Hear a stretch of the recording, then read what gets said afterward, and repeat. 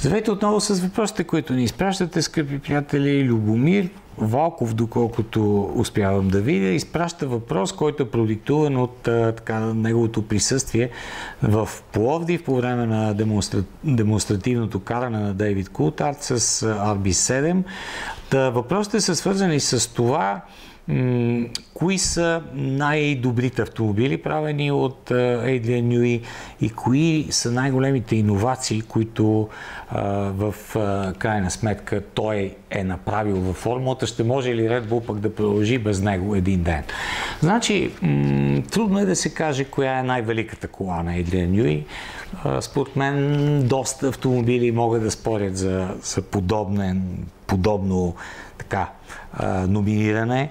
Може би Уилямсите, примерно от 96-та година, FW18 на Деймон Хил или преди това на Меса от 92 14B, FW14B, но, но в тези автомобили има сериозно участие Патрик Хет, има участие и на други конструктори.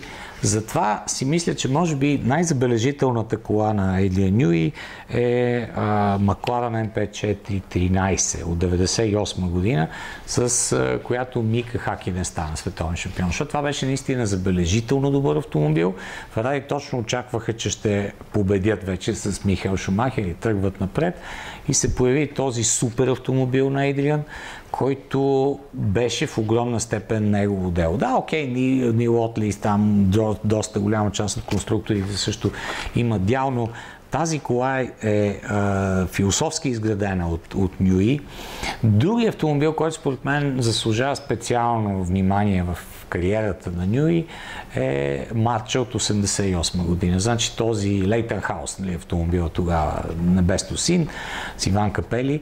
И а, този автомобил беше наистина забележителна стъпка напред в аеродинамиката, с излязания кокпит, който после го имаше в Уилямсите. Но наистина много ми е трудно да кажа кое, коя е най-добрата му кола. И Редбулите, пък да не говорим. Нали? Може би RB7 наистина от 11-та година, 2011 година е забележителен автомобил. Те тогава смазаха просто а, конкурентите. 12-та година бяха на ръба обаче. Така че наистина трудно да се назове конкретен автомобил, защото се отнася до новостите, които той той има като дял в развитието на формулата, не може да се каже също нищо конкретно. Да речем, както е, Мижо нали, с високия ност или Джон Барнард с свитата задница. При, при Нюи има винаги едно съчетание от много нови решения и забравени стари решения, които той вкарва в една концепция и те започват да работят по великолепен начин. Примерно духваните дифузиори, които направи в Red Bull 12, 13, 11 година, те проистичаха още от края на 80-те години, когато Рено ги имаха в турбо автомобила си. Бенетон на Михаил Шумахер също имаше с едно обдухване от изгорелите газове в задната част на колата и той просто обаче това всичко го събра, интегрира го по великолепен начин в колата и тя постигна страхотни резултати.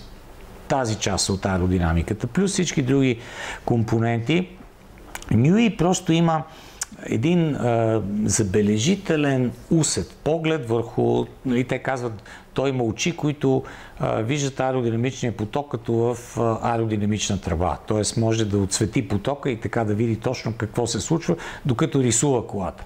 Което, което е някакъв гигантски талант. Е, в крайна сметка, знаете, той продължава да работи с дъска и след това всичко слиза надолу към компютрите, но няма и конкретно някакво решение, което да кажем, е, това е нюи решение. Да речем, прочутия гърни флеп, нали, тази лайсничка, която стои върху горния ръб на задното крило или на предното крило на Дан Гърни, един бивш пилот, изключителен инженер, също така в историята на Формула 1, нали, човек е направил тази лайсна с винчета се вхваща от единия край за ръба на, на конкретния детайл и с другия край вече дори ъгъла може да се промени буквално на ръка, за да се промени ъгъла на, изтегляне на въздуха и съответно да се промени силата на притискане. И това затова до ден днешен си се казва гърни хлеб. Така че тези неща си съществуват при, при Нюи, обаче заслугата му за, за развитието на модерната Формула 1 е огромна. Сега, примерно, Уилямсите, за които стана дума, особено тези на Прост, на Месъл, те са пък в една хармония с активно окачване. И затова сега като влезнаха в сила новите правила, и Нюи казваше, ми то няма как да не подскача хора. Това на времето подскачаше и ние затова имахме активно окачване, нали, точно този тип концепции през 80-те години, когато той е млад инженер и в крайна сметка неговата първа рожба, първи силен автомобил е автомобил Марч от 84-та година в Индикар. Там колите са със същите а, такива характеристики на оптичане. И, и просто това мислене и тия, тия резултати, които той има, са забележителна част от историята на формулата. Какво стане следвало без него? Вече наистина е един много, много голям въпрос.